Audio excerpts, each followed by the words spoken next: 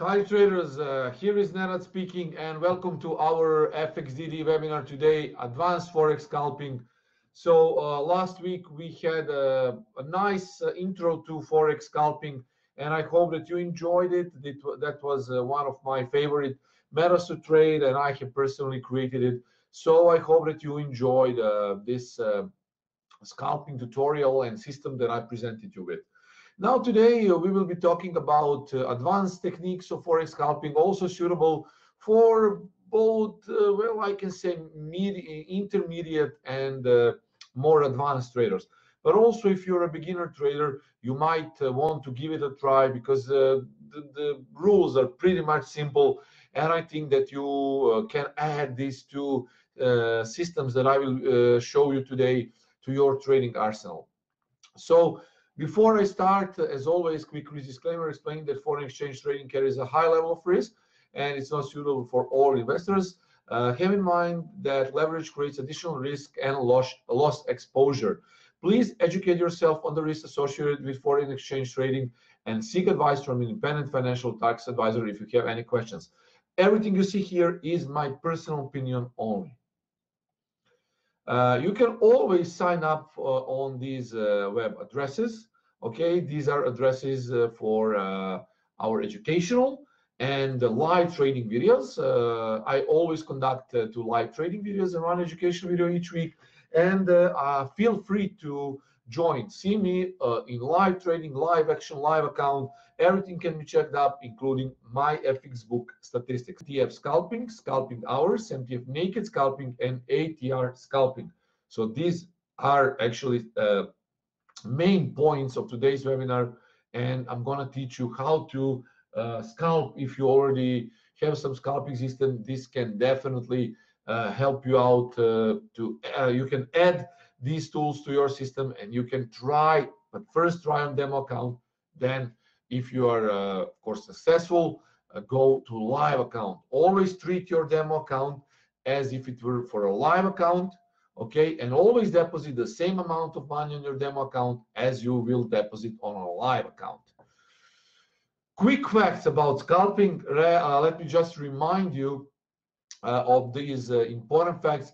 Scalping is the quickest way of trading. It requires momentum and volatility. It uses small stops and it is done on lower time frames, M1, M5, and M15. Targets are always lowered accordingly. Breakouts are also one of scalping strategies, and you can uh, try to do breakout trading even if you are not sure uh, what uh, intraday trading is or what swing trading is. So if you're totally novice trader, breakout trading is good. You can scalp with it, and I will show you how you can also scalp with the ATR indicator. It will require, of course, a little bit of practice, but then again, uh, without a practice, there is no real success. So uh, I think that you might be interested in this. This is very unique, guys. I don't think that you will find uh, these things anywhere on the internet. Maybe, of course, you will, because I didn't invent uh, the first technique, naked scalping, but the second one, such as ATR scalping, that is also my proprietary method okay best sessions uh, for uh, scalping are london and uh, london new york cross session why because the volatility and uh, definitely is the best during the, those times good scalping setups are usually found 10 minutes prior and 10 minutes after TOTH. It's top of the hour. the first three sessions of each, the first three hours of each session are usually most suitable.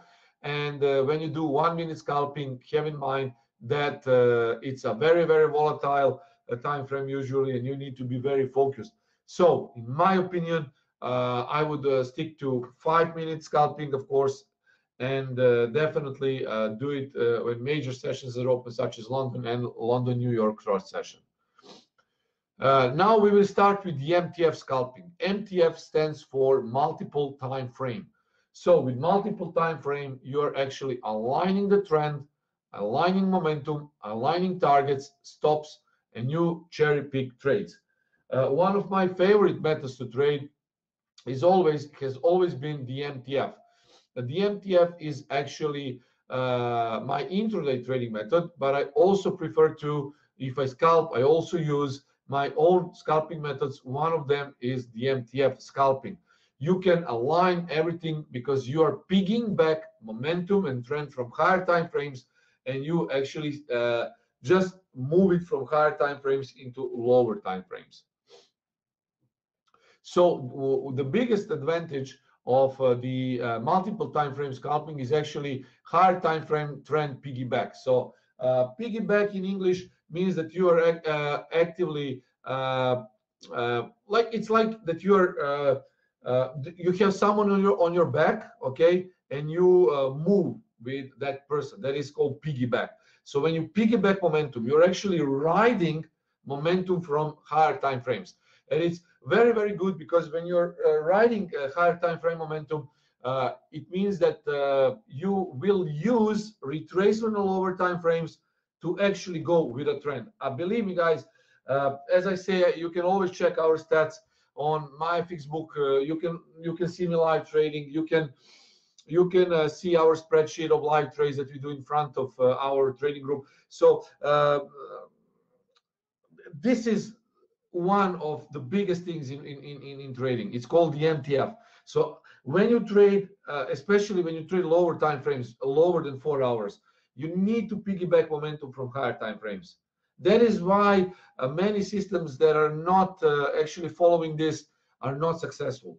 They they are sticking only to let's say five minute, 15 minute trading.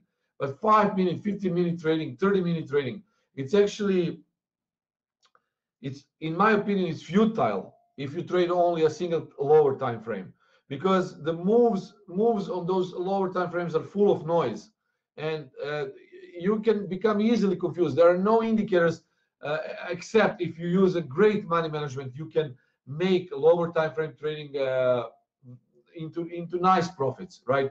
But only if you use very good money management. Uh, for me i use simple things guys and i like to keep it simple. So uh, I always pay attention to ATR, uh, what is the range, uh, how we can exit the trade, because exiting the trade is also one of the crucial aspects of trading. 90% um, of the traders, in my opinion, know, at least traders who, who have experience in Forex trading, know how to enter, when to enter the market. But they don't know when to exit the market. That's the problem. Think about it. Okay, uh, so regarding MTF scalping rules, we use time frame, it's MTF time frame. We drill down from one hour to 30 minutes, 15 minutes, and five minutes. Candles should be aligned. And first thing you need to know is to mark the quadrants. Rules for buy trades. One candle should close bullish. 30 minute candle should close bullish. 15 minute candle should close bullish. And the last five minute candle of one hour should be bullish. Uh, also, guys, if you miss the top of the hour, then you can easily watch these candles also during that hour and they need to be aligned. That is how you scalp this. Also, uh, for sell trades, one candle, the one hour candle is bearish, 30 minute candle bearish, 15 minute candle bearish, five minute candle bearish. I will also use these uh, ATR pivots. Uh, uh, I will explain later because this part is not that crucial as you won't be using only ATR pivots, you will be using naked trading here. But for uh, ATR scalping, I will uh, show you how you can uh, use ATR for scalping. Now, let's say we want to see bullish candles. Okay, let's use this example. It's in the past, but it's good because the price moved up. So uh, this candle was bullish. I'm just giving you an example. So one, this candle was bullish. 30 minute candle bullish 15 minute candle should be bullish, okay? And the close of five minute candle should also, should also be bullish. So let's say that the candle closed here, okay? And you you watch this candle, you you see that every every time frame is bullish. When price breaks the candle by two pip plus the spread, you enter the market. That is why it's important to have low spreads. I just use GBP Swissy. You will you mostly be using uh, low spread pairs such as euro dollar, pound dollar, dollar yen. Uh, okay, pound yen also you can try to use. Uh, yeah, up to 2.5 to 3 uh, pips is okay. So two pips plus the spread, you enter a trade. Okay. Stops are placed below one hour candle. So if this is the candle, one hour stops are placed uh, three pips plus the spread below one uh, hour candle or the last prominent swing low. Obviously, this was the last prominent swing low here, and you place your uh, stop here. Uh, uh, have in mind that scalping is not ideal for risk to reward, but you will have you need to have more wins than losses in order to compensate for that.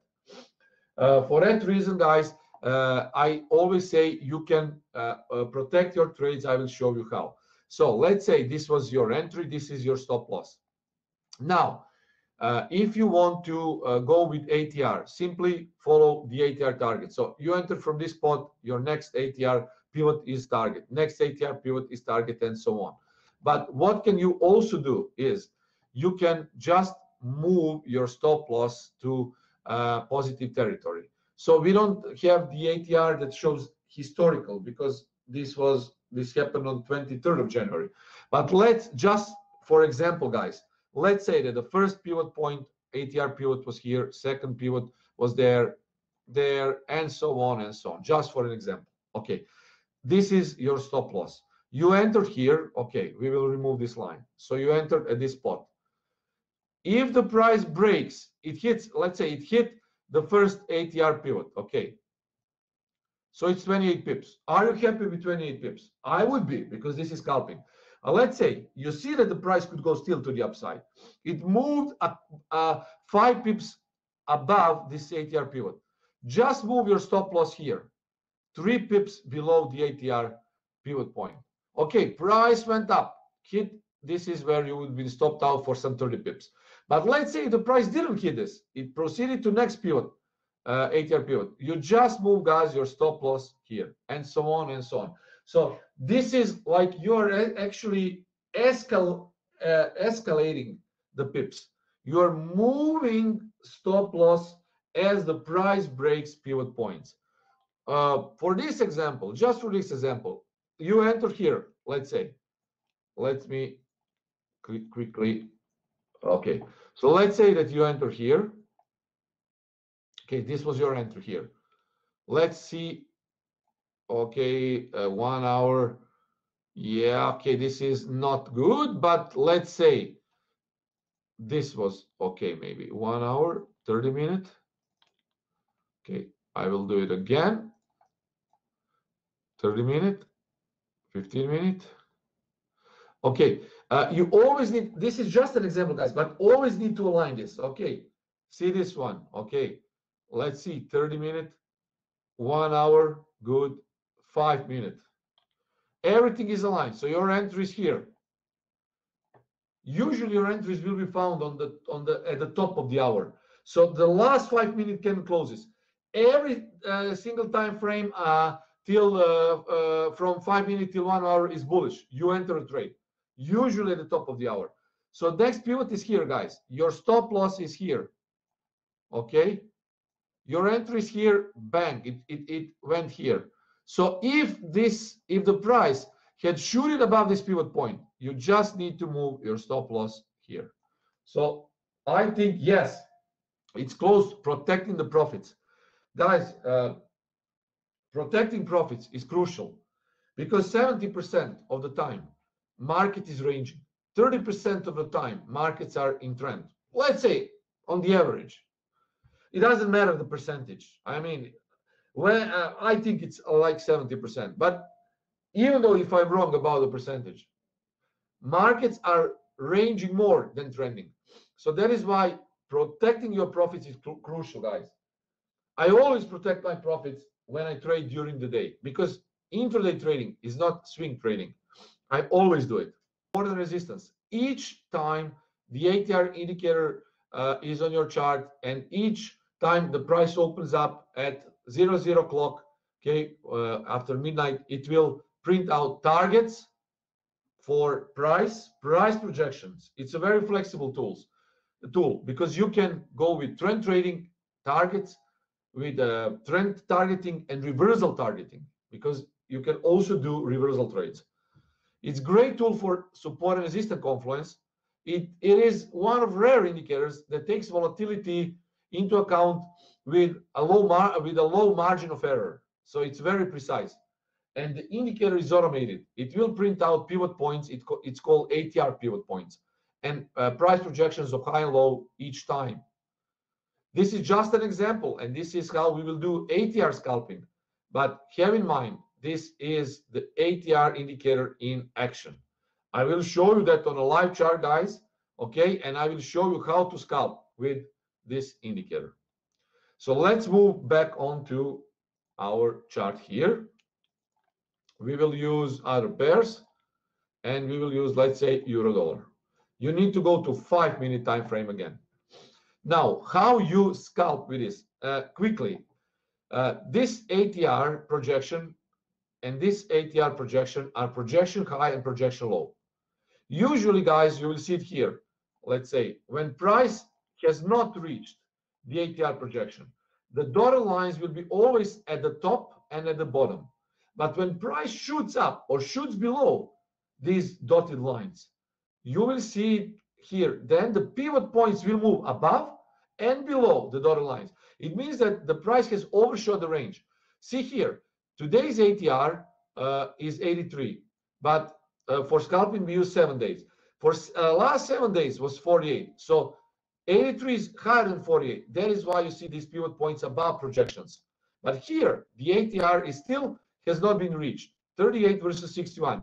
If 61 is broken, you will see these pivot points above and below price projections. And you can easily identify, see this how, how the euro dollar actually overshot its average true range of seven days. So how you actually trade it? You need to go to insert indicators, trend, Bollinger Bands, 20 and 2, standard deviations. Now, guys, on five minute time frame, okay, so now pay attention.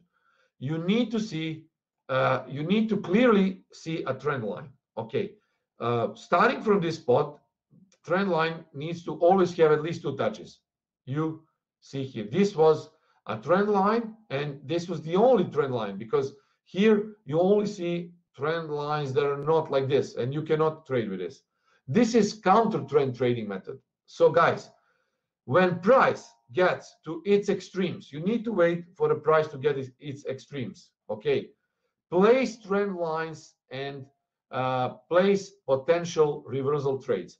So this is where the price went bullish. You can remove this. You know that the price went bullish. It broke the trend line. So the trend is upside. It will go up. But once it starts going down, you need to have another trend line placed at the break. So here, this is how I would do it. So this is the trend line. If it breaks below this trend line, okay, price will probably go to retest high and the mid pivot point. So your first target is here, your next target is there. Similar guys for buying trades. If you want to go long, your first target will be here, next target will be there. So this is done solely on pairs that already are extremely close to ATR projections or they have broken. You can do whatever pairs you want, but I always stick to low spread pairs as I say, maximum three pips. He, see here, guys, you see the price overshot this, and this is when it, well, it's not a clear trend line, but you see the price broke this mini trend line here and retested this zone. So again, same thing happened here. Price broke through this trend line. It went bullish. So you wait when price will get to ATR. Here it started okay, and see that and see what happened. Now, if you are not sure how to plot these trend lines, that is why we have Bollinger Bands. Instead of plotting these trend lines, guys, because I know that that is why I said for some traders this could be a little bit harder. You need to wait for outside inside close of the Bollinger Band on five minute close and then place a trade. So here, this was outside, outside, outside, and inside close. See, see this outside, inside. So from this spot, guys, wait for a bearish candle to form. This is your entry. Outside, inside, inside with a bearish candle, and you take your trade here. It's much easier probably than to plot trend lines. Similar for long trades, guys. The price is going down, down, down, down. You want to make a counter trend trade. Let's just for an example say that this was the ATR low projection.